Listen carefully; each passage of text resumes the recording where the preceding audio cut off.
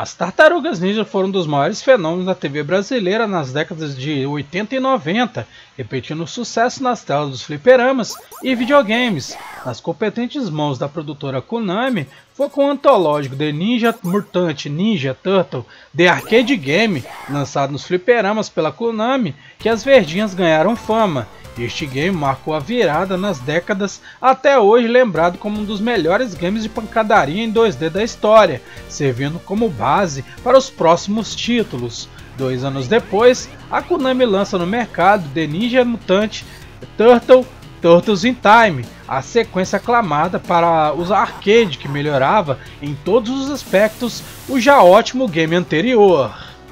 Depois de ganhar versões em vários sistemas e plataformas, foi em 1992 que nosso querido Mega Drive recebeu pela primeira vez um game da simpática tartaruga chamado The Hyperstone Rest. O jogo reutilizava vários conteúdos e conceitos dos títulos anteriores já citados anteriormente, mas também apresenta novidades exclusivas para os 16 bits da Sega, nossas heroínas estão relaxando em seu lar nos esgotos, obviamente comendo uma pizza, sua comida favorita e assistindo a amiga repórter April pela televisão, quando de repente ela mesma, seu público, testemunha o destruidor que faz desaparecer a Estátua da Liberdade e a ilha de Manhattan inteira. Então, eles anunciam que tem em mãos o poder da pedra Hyperstone da dimensão X e que pretende usá-la para dominar o mundo, como manda cartilha de todo bom vilão, desafiando as tartarugas para impedi-los, nada fora do normal do cotidiano de nossas amigas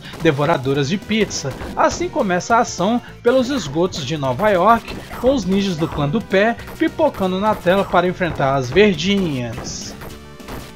Após andar pelas ruas e esgotos de Nova York, no final desta etapa, o crocodilo gigante cabeça de couro, ou Leatherhead, aparece como chefão, braços de surf e um navio pirata e uma caverna cheia de perigos aguardam nossos heróis. O chefão aqui é Rocksteady, mas sem seu fiel companheiro Bebop. Após sair da caverna, as tartarugas vão para uma fase inédita aos arredores do esconderijo do destruidor, até alcançar o chefão é, Tatsu, o personagem que apareceu só nos dois primeiros filmes dos anos 90. Mais uma caverna, aqui as tartarugas terão de lutar novamente contra o Cabeça de Couro, Rocksteady e Tatsu, que voltam mais fortes. Antes de enfrentar o chefão da fase, que é o Baxter Stockman, que é sua versão humana, uma máquina lembrando bastante a, a primeira do, do jogo do Tartarugas e Ninjas Turtles in Time, as tartarugas estão dentro é, da fortaleza móvel, o Technodrome,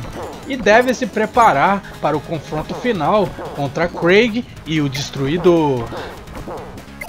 Como já era de se esperar de um game da Konami, o nível de qualidade artística é excelente, bem próximo aos originais dos arcades e apresentando uma boa gama de variedade de animações. O design dos personagens inimigos, especialmente dos chefões, também é, apresentam bem na tela, com um toque estilizado do desenho animado que sempre marcou os games da série. Mesmo pode ser dito da trilha sonora, um trabalho super competente dos compositores, usando temas memoráveis e vibrantes dos antigos games, com estilo pop rock que cai como uma luva para os maravilhosos sintetizadores de som do Mega Drive. No entanto, a jogabilidade é um dos games mais destaques dessa versão, a ação ocorre de forma rápida e fluida graças ao rápido processador do Mega Drive, que não permite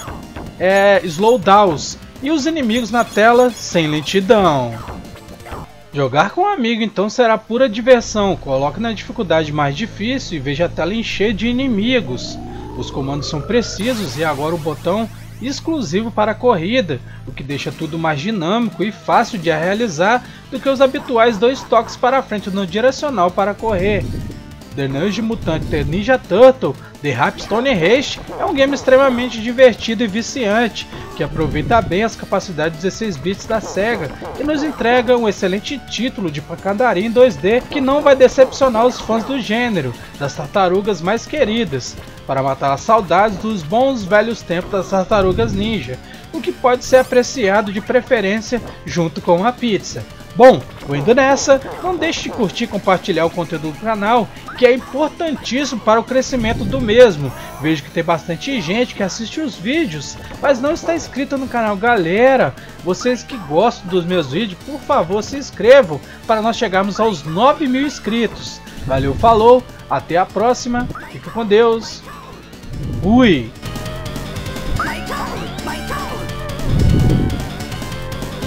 Oh,